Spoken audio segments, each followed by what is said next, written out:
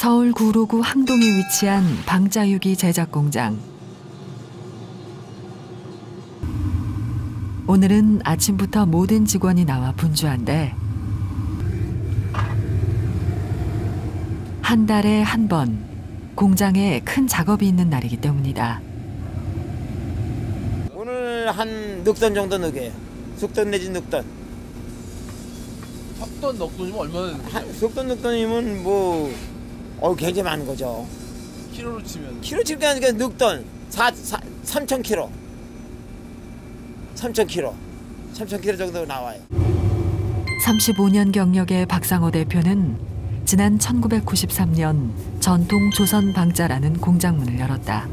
그러니까 뭐 오래됐죠. 이거 저 한지가 지금 내가 한한 40년 이상 됐는데 그때는 방자보다 이제 그릇 그냥 일반 그릇이에요. 그때만 해도 이게 방자는 뭐 이렇게 방자라는 물- 일은 이렇게 뭐 알려주지 않고 제사상이나 손님상에 올리던 귀한 그릇이었던 방자유기는 최근 멸균 효과가 알려지면서 많은 사람들이 찾고 있다.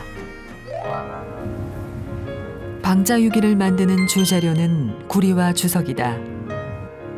이 두 금속을 일정한 비율로 녹여 합금을 만드는데 여기에는 예로부터 전해 내려온 황금 비율이 있다.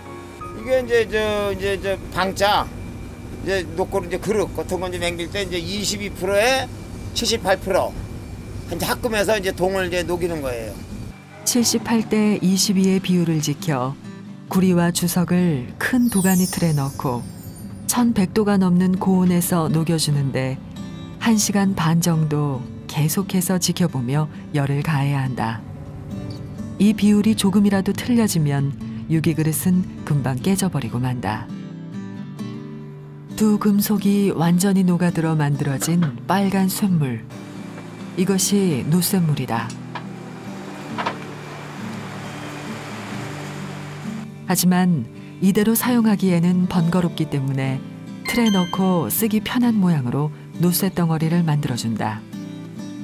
보통 둥글둥글한 바둑알 모양처럼 만드는 경우가 많아 바둑이라고 불리는 방자유기의 밑재료. 전통 조선 방자 공장에서는 네모난 틀에 넣고 모양을 만든다. 주물 틀에서 바로 꺼낸 노쇠 덩어리는 열이 빨리 식을 수 있도록 물을 뿌려주기도 한다. 공장 한쪽에 가득 쌓여 있는 노쇠 덩어리. 이게 한 달 정도 쓸 수 있는 양이다.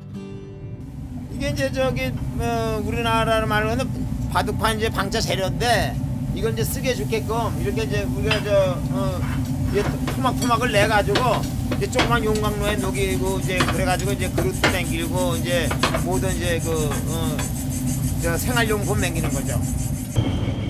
이제 본격적으로 방자육이 만드는 과정에 들어가는데 예전엔 일일이 손으로 두드려 그릇 모양을 만들었지만 요즘엔 시간을 단축시키기 위해 미리 만들어 놓은 주물틀을 이용하기도 한다. 이게 개흙이라고 그래요 개흙. 저기 뻘 바다에 뻘 민물 썰물 교체하는데 그 뻘에 흙이 고운 흙 있잖아요. 그걸 말려 갖고 하는 거예요.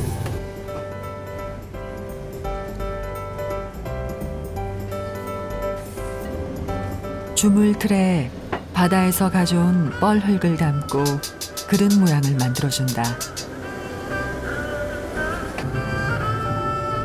이렇게 흙으로 만든 그릇틀은 노쇠물을 붓기 전에 기름불에 한번 그을려주는데 여기엔 특별한 이유가 있다.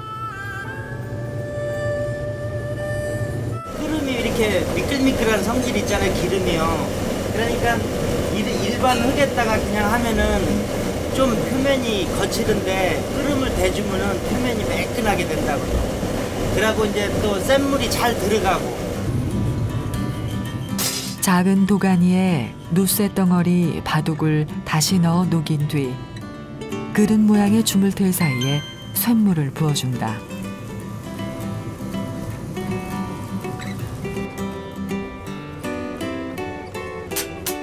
열기를 한숨 식힌 뒤 주물틀을 떼어내면 냉면 유기 그릇이 나온다.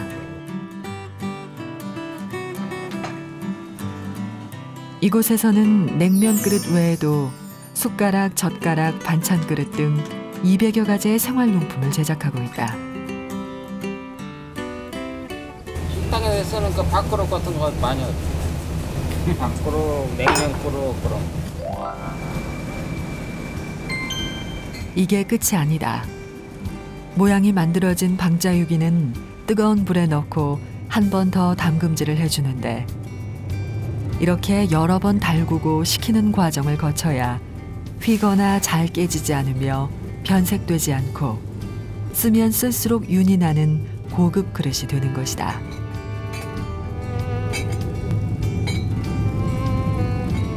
불에 검게 그을린 방자유기 그릇들.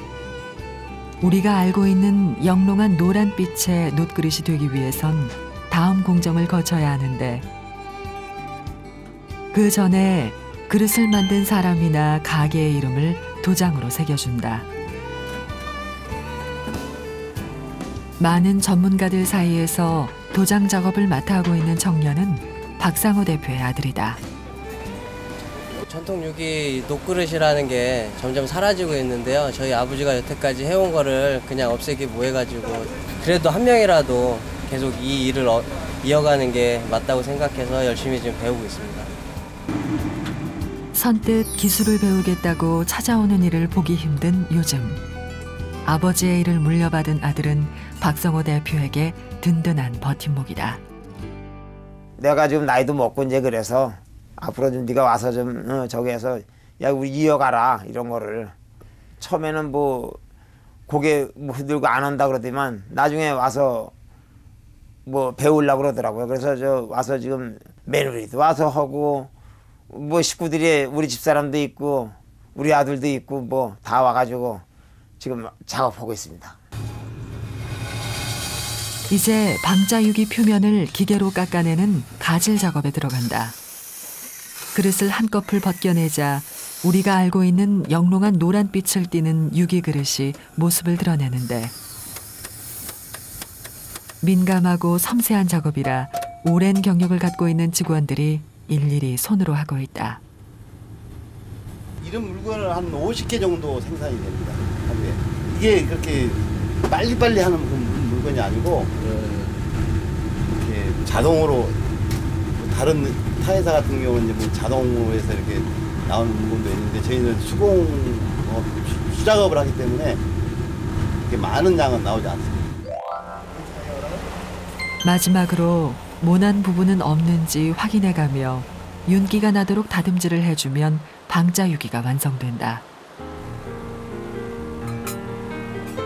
앞으로는 뭐 자꾸만 그 기계화가 되니까는 이렇게 쉬, 쉽게 일을 하려고 그러지 이게 이제 옛날 것처럼 그냥 우리가 주- 뭐 어, 저런 식으로 일을 하려고 그러진 않아서 이제 그게 탈인데 없어지게 하겠습니다. 뭐 그냥 어, 내가 볼 때는 열심히 하면은 더 활성화가 될 것 같아요.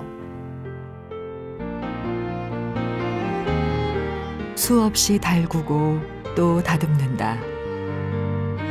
시간과 정성을 다한 그 빛은 오랜 세월 영롱할 것이다.